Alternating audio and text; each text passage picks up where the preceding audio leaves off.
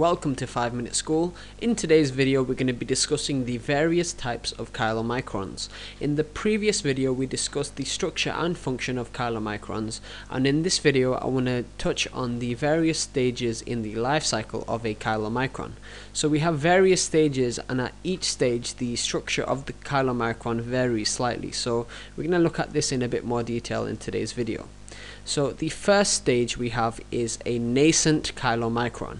And this is at the beginning when the chylomicron is initially formed. So it's released from the enterocytes via a process called exocytosis and then they pass through the central lacteals of the lymphatic vessels and into the lymphatic system and then they eventually drain into the blood via the thoracic duct.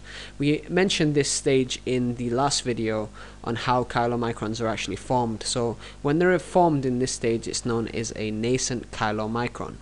So the structure of the nascent chylomicron at this stage, um, there are triglycerides, cholesterol, phospholipids, and apolipoproteins in the actual chylomicron, but the apolipoprotein present is known as apolipoprotein B48. So this is the apolipoprotein present on the nascent chylomicron when it's initially formed. And then going on from this, the nascent chylomicron circulates the blood. Remember, it's drained into the blood via the thoracic duct, so now it's circulating the blood. It exchanges some components with high density lipoprotein, um, and then the high density lipoprotein will donate apolipoprotein C2 and apolipoprotein E to the nascent chylomicron. And when this happens, it's now known as a mature chylomicron. And apolipoprotein C2 is a cofactor in lipoprotein lipase activity. So now at this point the triglycerides present inside the chylomicron can be now hydrolyzed because the apolipoprotein C2 is the cofactor for the lipoprotein lipase enzyme activity. So following on from this, the triglycerides are now being hydrolyzed at the target tissues, so the store of triglycerides in the chylomicron will now become lower. So at this point, the chylomicron will donate the apolipoprotein C2 back to the high density lipoprotein.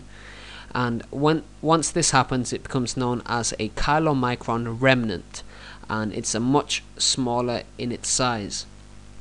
The apolipoprotein B48 and apolipoprotein E is still present on the chylomicron remnant and what this does is it signals the liver to break it down via endocytosis once it returns back to the liver. So this was the life cycle of a chylomicron. You can see it starts off as a nascent chylomicron, then into a mature chylomicron, and then after the store of triglycerides is reduced, it be then becomes known as a chylomicron remnant once it donates the apolipoprotein C2 back to the high density lipoprotein. So that's everything I want to discuss in this video on the life the life cycle of a chylomicron. If you have any questions regarding this topic, write a comment below and we'll do our best to get back to you. Thanks for watching.